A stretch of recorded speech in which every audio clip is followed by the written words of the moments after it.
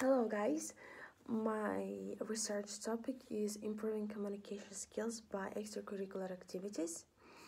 So, my purpose is to find out students' alterations, changes in academic way and the social way, while improving communication skills at the same time. So, the my research aims is to conduct questionnaire in the post and pre-test and to see the results that they have been before the experiment. And after that uh, conduct some lessons with the extracurricular activities and observe the changes by myself. And after that officially uh, give them a post test and the, again the after experiment questionnaire to see changes that uh, happened after extracurricular activities to provide uh, to conduct interview of particip- participants parents. Uh, another one is the research significance. So nowadays uh, our extracurricular activities is and are under underestimated. And to change that my research will show results that uh, reliable and the evidence that activities improving uh, such kind of skills as a communication skill, speaking skill, they more focusing on detail. They starting to respect each other, and even though they uh, developing by um, some social standards.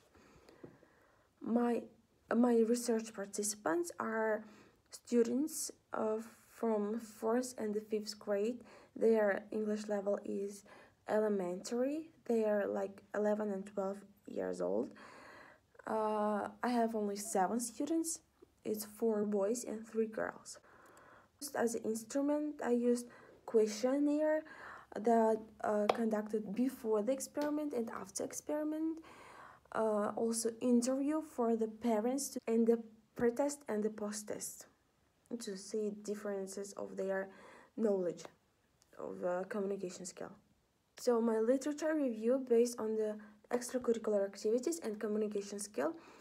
Uh, so communication skill is not only just listening and speaking, however, it also respect your partner and yourself, respect speeches, appreciate it.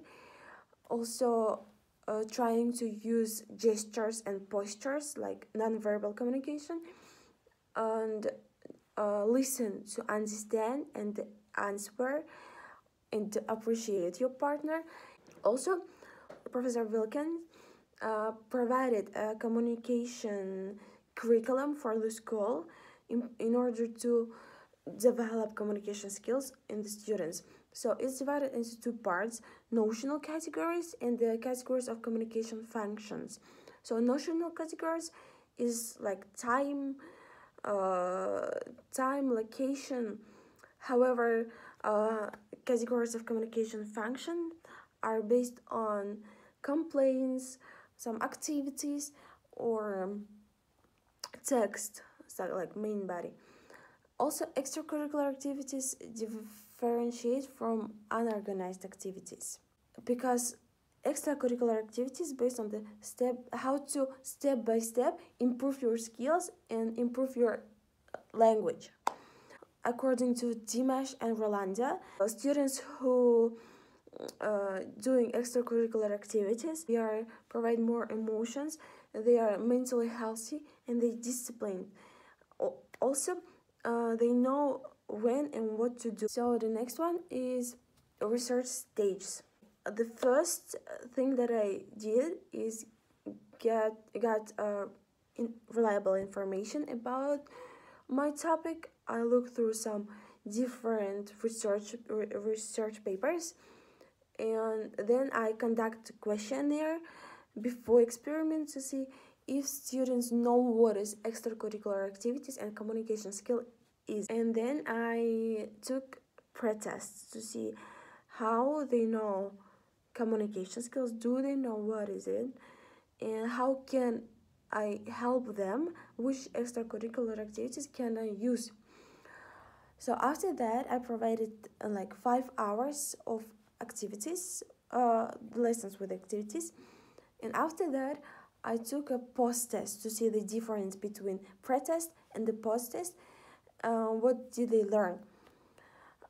And after that, I also conducted the questionnaire that uh, was after the experiment to see uh, what kind of activities did they like the most and what did they improve and what did they like like overall and then i was just analyzing all these uh, questionnaires into my research questions so the first question is what kind of specific extracurricular activities students like the most and what and have strong benefits for improving communication skills?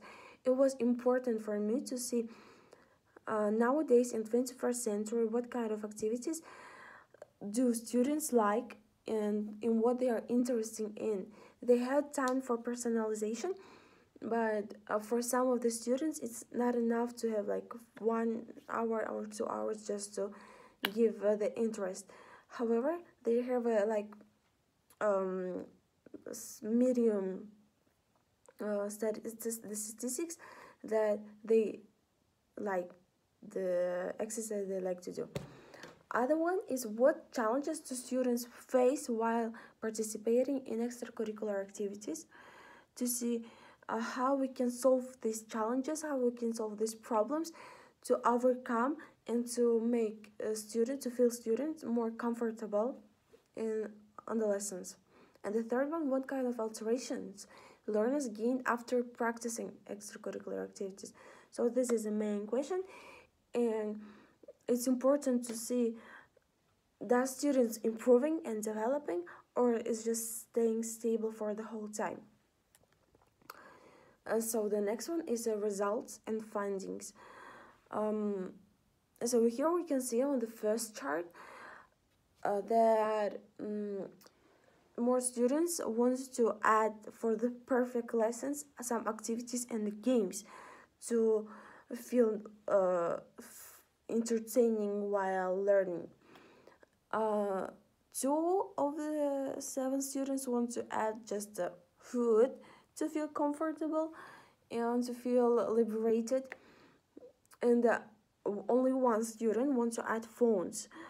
Um, in the second graphic, you can see uh, the most the interesting games for the students that I uh, provided to them. So, uh, five of the students uh, choose sport games. They uh, they could choose like several of the um, of the activities. Five of the students choose sport games like uh, football games, uh, games with the ball. I mean, and just hide and seeks and so on uh, only three of them use debate. It takes time for them to uh, formulate their phrases, sentences, and then answer because uh, they don't want to uh, be corrected. Like, they don't want to make mistakes in front of others. Like, drama class, computer games, and the tea time, just six of the out of seven students. Uh, so they like to act they like to improving their actor skills. And uh, what about uh, the computer games? Is uh, as i said before it's 21st century and students like to use gadgets a lot of gadgets. And another one. So conclusion. Um, after this research I noticed that uh, students improved their communication skills. Firstly, they started to respect each other and without any interrupting, they started to think, to listen, and uh, catch some moments where where they can support person or answer just not the question that they will hear, but yeah. Also they uh, they became more confident about their speeches about their english. Even if they make mistakes they are trying to be positive. Also they are becoming mentally healthy and uh, after interviewing parents i had um, some of them told that their uh, children wants to um, participate in different activities and just um, go to some sections sports sections drama classes. So i'm glad to hear that. Also um, students are getting um, better work habits and they really show confidence in academical performances and on the social performances. So, so that was the main idea main purpose. Present implications. So for the present implications um, i have uh, participants that are encouraged and they respect what they respect neighbors and the partners and also for the further research implications i like the researcher need more students more time span because this was like only short time and i don't have specific uh, normal results for it. Uh, the researcher can use different level of english and interview teachers who using extracurricular activities for some time and see the differences between students before and after. And that's it. Thank you for attention. Put likes subscription